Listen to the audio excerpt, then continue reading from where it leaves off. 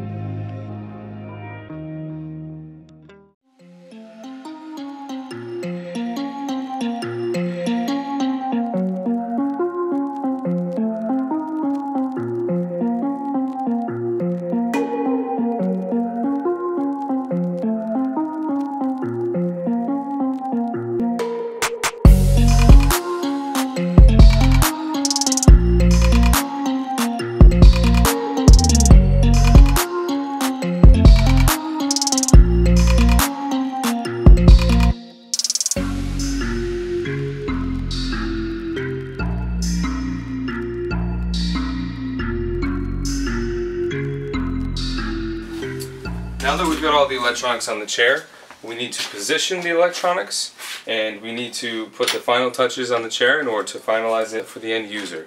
Now that we have the head array on the chair, he's going to be able to drive the chair forward and reverse with just using his head, using this system. You can go left, go right, forward and reverse. Now we need to place the display in a functional location for the user.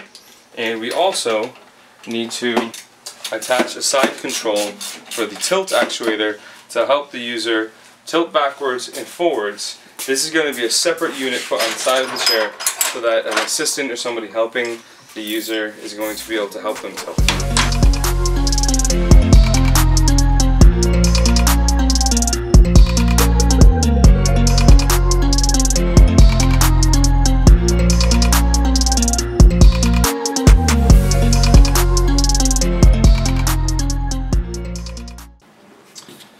So here we have it, the Quickie S525 completed. It has the head array system on it, it has the display, it has the egg switches so that the user can control it using just their knees. It also has the side control so that an attendant is able to tilt the chair for the user without them having to do it themselves. Now let's get a little more into the functions of the chair, some of the electronics that we put on the chair, and how to use them. Right, as you can see here, we have a contoured backrest. The user, however, needed a little bit more support on the lateral sides. So we added these lateral supports. These are great for people that lean to one side or you know their body's contoured one way, you know they get pulled one way or another.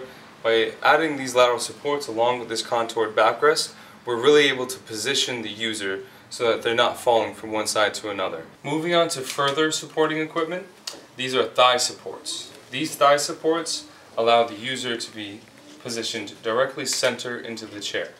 If you lean too far to one side or another, not only is it uncomfortable, but it's, it's not good for the body. Lastly, we have the feet supports. These supports allow the user to have their feet stuck right in the center. So these supports are the final step to allowing us to position this user right down the middle. Now let's get into some of the more important stuff. The drive controls and the electronics. The most important aspect of this chair that we installed was this head array. The use of this head array allows the individual to operate the chair only with the use of their head.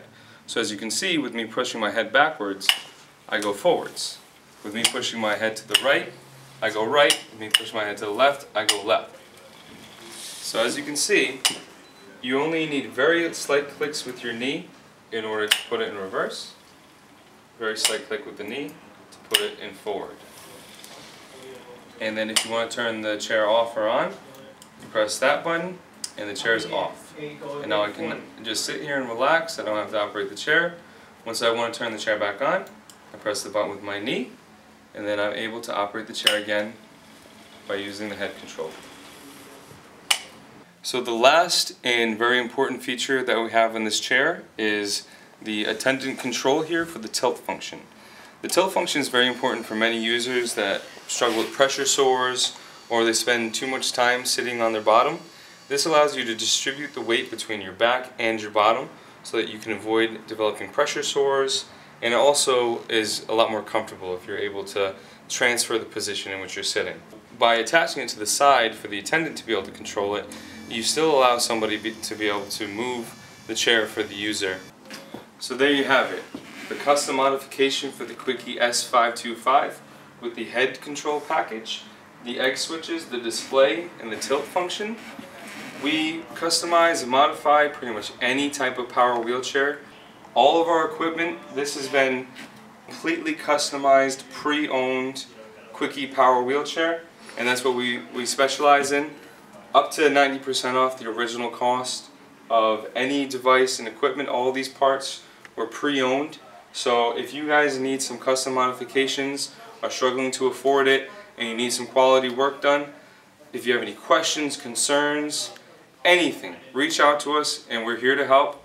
We love any inquiry. Please reach out to us today.